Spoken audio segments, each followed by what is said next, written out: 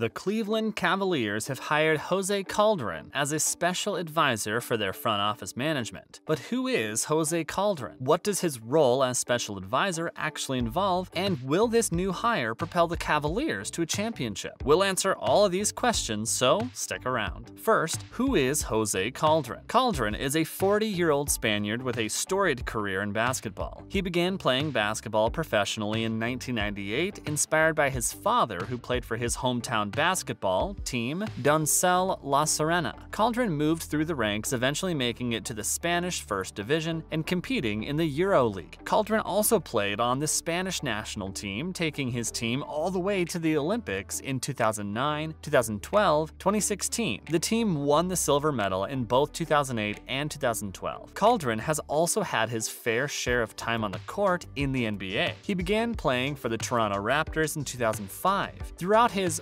14-year NBA career, Calderon played for many different teams, including the Detroit Pistons, the Dallas Mavericks, the New York Knicks, and the Cleveland Cavaliers. In fact, Calderon played for the Cavaliers during their 2017-18 season when the team made it all the way to the NBA Finals. Even more interestingly, current Cavs general manager Koby Altman was promoted to the GM position the same season that Calderon played for the Cavaliers. Could that be the reason Calderon received the special advisor position? We'll talk more about the history between Koby Altman and Jose Calderon later. Calderon officially retired from basketball professionally after playing for the Detroit Pistons for the 2018-19 season. Calderon is no stranger to working in an executive role. He also worked as a special assistant to the executive director of the National Basketball Players Association for the 2019-2020 season. For his new position as special advisor to the Cavaliers, Calderon said on Twitter, very happy to return to the Cavaliers in this position. Calderon has the experience of playing 20 years of professional basketball. The lesson he's learned will be of great use in his new role to be sure. What does a special advisor actually do? Special advisors, also sometimes called consultants, are fairly common amongst NBA teams. Often retired players want to continue to assist their team, but don't want the headaches or responsibilities that come with being a head coach or general manager. Other notable special advisors include such NBA legends as Dirk Nowitzki, who serves as general advisor for the Dallas Mavericks, and Jerry West, who was the special advisor for the Golden State Warriors from 2011 until 2017. Coincidentally, Jerry West was the special advisor for the Warriors when they won their first NBA championship in 40 years in 2017. What was the team the Warriors beat in the finals that year? The Cleveland Cavaliers. A team's special advisor works in the front office of the team, along with general manager and assistant general managers. A special advisor lends a certain air of gravitas to the front office. Young players of the team might look up to and have a high amount of respect for the right special advisor, especially if that advisor is a legend in their own right. The special advisor often has many years of professional basketball experience under their belt, usually with some championship experience as well. That knowledge and experience can go a long way in helping a team find their edge, especially if the team is having a difficult season. The special advisor may also work alongside other executives, like the director of scouting, to help create a better team environment. The day-to-day duties of a special advisor may differ from team to team, but it is a role that garners much respect and has some influence on a team's success. Now that we know Jose Calderon's history and what his new role as special advisor might involve, there are some other interesting things to consider. Like how does his history with the Cavaliers general manager Koby Altman factor in? What kind of challenges do the Cavaliers have ahead in the rest of this season? And most importantly, will Calderon actually have a positive impact on the team and help them get to the finals? We're going to answer all of these questions next, so don't go anywhere. Who is Koby Altman and what kind of history does he have with Jose Calderon? Altman is the current general manager of the Cleveland Cavaliers. He's been with the team since 2012 and has worked a variety of roles in the team's front office. He was the team's director of pro personnel when they won the NBA championship in 2016. Altman was then promoted to assistant general manager for the 2016-17 season. Finally, he was made the team's general manager in the 2017-18 season, where he has been ever since. Since his start with the team, Altman has seen the Cavaliers go to the NBA Finals four times and win one to be named champions. As the current general manager, Altman's main responsibility is contract negotiations with current and possible future players. He also focuses on trade deals and general team management. So, it's highly likely that Altman had some major influence in hiring Jose Calderon as special advisor. Keep in mind, Altman has made the team's general manager in the very same year that Calderon joined the roster. Essentially, Altman was Calderon's boss from 2017 through 18. Surely Altman kept Calderon in mind when Calderon finally retired at the end of the 19 season. At that time, Calderon became the Players Association's special assistant. It's possible Altman was just waiting for Calderon to become available for the special advisor role. After the announcement of Calderon being hired, Altman said in a statement, We're thrilled to add someone of Jose Calderon's background and experience to our front office. Altman, who recently signed a contract extension, extending his stay as general manager through the 27 to 28 season, did Altman have some kind of deal with Calderon to get him back to the Cavaliers? Or do Altman and Calderon just have a good history of working alongside one another? Whatever the case may be, Altman feels like that having Calderon in the Cavs front office is a benefit. What does the rest of the Cavaliers season look like? Over halfway through the season currently, the Cavaliers are in fourth place in the NBA's Eastern Conference. They're only one win and three losses behind the current conference leader, the Chicago Bulls. The Cavaliers are scheduled to play an away game against the number 2 ranked team, the Miami Heat, on March 11th. They're also scheduled to play the Chicago Bulls in Chicago the following day, March 12th. Although both games are on the road, the Cavaliers hold an excellent away record with 15 wins and 9 losses. They're tied in second place for most away wins in the league. Meanwhile, back at home, the Cavs will face the Oklahoma City Thunder, the New York Knicks, and the 2021 NBA champs, Milwaukee Bucks. Fear not, Cleveland has already beaten all three teams this season. Other challenging upcoming games for the Cavaliers include the number 5 ranked Philadelphia 76ers on February 12th and the number 3 ranked Brooklyn Nets on April 8th. There's still a long season to go with a lot of interesting matchups. No doubt there will be some shifting in the ranks as well. Some outstanding players to look for on the Cavaliers lineup include Darius Garland, who has averaged 19.7 points per game. Also, be on the lookout for Jarrett Allen, who defensively has received an average of 11 rebounds per game, and keep an eye on Rookie of the Year contender Evan Mobley. Of course, all this is to say that the Cavaliers have great momentum heading into the second half of the 2021-22 season. Will Calderon help the Cavs make it to the finals? This is obviously the most important question of the day. The Cavaliers are without a doubt chomping at the bit for another shot at the championship. The team hasn't made it to the finals since the 2017-18 season, which was the same season Calderon played on the team. Could he be the special sauce that gets them back? Keep in mind, that season was also the last season that LeBron James played for the Cavaliers before signing to the LA Lakers. LeBron was without a doubt a key factor in the team winning the championship in 2016, being named the most valuable player in the finals. The Cavs are also likely trying to achieve that same glory without LeBron James. A tough struggle to be sure. Since losing James, the Cavaliers haven't finished any higher than fourth place in the NBA. Maybe Calderon will help shed some insight into the Cavaliers this season and bring them back to the finals. The Cavaliers are certainly poised for an exciting season, having already beaten all three teams that are ranked higher the Bulls, the Nets, and the Heat. Calderon, with his history playing for the Cavaliers in the NBA Finals and his extensive experience playing basketball professionally on an international scale, could be the edge the